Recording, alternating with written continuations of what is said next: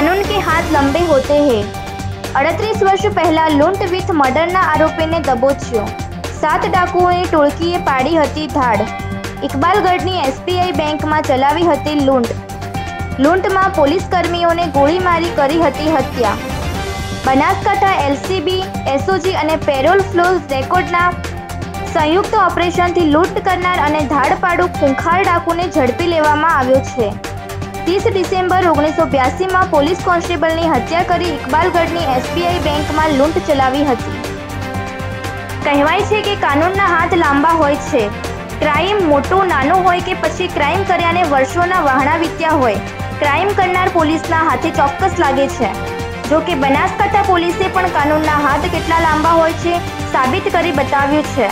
અને વર્ષો પહેલા બારવટિયા બની ધાડપાડ સાથે સનસનીખેજ લૂંટને અંજામ આપનાર ડાકુને અડત્રીસ વર્ષો બાદ પણ ઝડપી લઈ જેલ હવાલે કરી દીધો છે.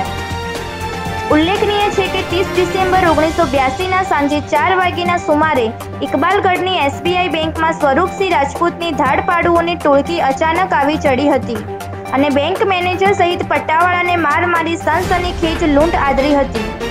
જો કે લૂંટ કરવા આવેલા ડાકુઓ સામે પોલીસ કોન્સ્ટેબલ શિવદત્ત બંસીધર શર્માએ હિંમત સાથે બાદ ભીડતા એમને ડાકુઓએ ગોળી મારી હત્યા કરી એક લાખ બત્રીસ હજાર બસોની સનસનીખેજ લૂંટ કરી નાસી છૂટ્યા હતા. સાત ડાકુઓ પૈકી બેની પોલીસે ઓગણીસો બ્યાસી ત્યાસીમાં જ પકડી જેલના સળિયા ગણાવ્યા હતા. પકડાયેલ ધાડપાડુઓની કડક પૂછપરછમાં વધુ એક નામ ખુલતા આઠમું નામ પોલીસ ચોપડે ચડ્યું હતું. છ ડાકુઓની તપાસમાં લાગેલી પોલીસને અન્ય પાંચ ડાકુઓ કુદરતી મોતને ભેટ્યા હોવાનું સામે આવ્યું હતું. જો કે સ્વરૂપસિંહ રાજપૂત ધાડપાડુ ગેંગનો મુખ્ય સાગરિત સતીદાનસિંહ ઉર્ફે સમુદીપસિંહ રાજપૂત બીજાવલ ગામ ગરડા તાલુકો બાડમેર જિલ્લાવાળાને જીવના જોખમે ખાનગી રાહે મળેલી બાતમીના આધારે ઝડપી દેવામાં આવ્યો છે. જો કે બનાસકાંઠા પોલીસે અડત્રીસ વર્ષ જૂના ધાડપાડુઓને ઝડપી લઈ પોલીસ પાવરનો દમ દેખાડ્યો હતો. રિપોર્ટર રતનસિંહ ઠાકોર બનાસકાંઠા. કીધું તે ફરાર હતો. બનાસકાંઠા પોલીસે તેને ઝડપીને લાવે છે. શું કહેશો? કેવી રીતે ઝડપ્યો સમગ્ર મામલો શું હતો?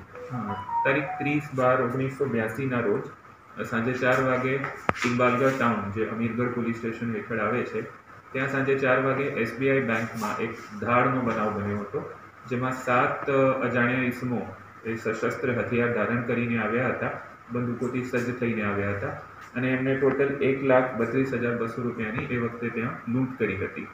એ બનાવ દરમિયાન એટલે અમીરગઢના અમારા એક હેડ કોન્સ્ટેબલ શિવદત્ત બંસીધર શર્મા એમણે એટલે બહાદુરીથી એ બધાનો સામનો કર્યો હતો, પણ ફાયરિંગમાં એ શહીદ થયા હતા, એટલે એમનું મૃત્યુ થયું હતું. અને એમાંથી ટોટલ સાત આરોપીઓમાંથી બે આરોપીઓની ત્યારે ધરપકડ કરવામાં આવી હતી નાઇન્ટીન એટી થ્રીમાં અને નાઇન્ટીન એટી ફોરમાં એમાં પાંચ આરોપી જે છે એ બાકી હતા. પાછળથી એકનું નામ ખુલ્યું હતું ટોટલ આઠ આરોપી થયા. એમાંથી પાંચ આરોપીઓ જે છે મૃત્યુ પામ્યા છે. એક જ આરોપી એ બાકી હતા અ, સતીદાન સિંહ જેને અમારી એલસીબી એસઓજી અને પેરોલ ફરલોની ટીમ એ વોચમાં હતા છેલ્લા ઘણા દિવસથી. અને બાતમી આધારે રાજસ્થાનના બાડમેર જિલ્લામાંથી ગઈકાલે સવારે એમની ધરપકડ કરવામાં આવી છે એટલે બનાવ ઓગણીસો બ્યાસીનો છે એટલે આડત્રીસ વર્ષના લાંબા ગાળા પછી એ આરોપીની ધરપકડ કરવામાં આવી છે. સર બનાસકાંઠા જિલ્લા સિવાય ગુજરાતમાં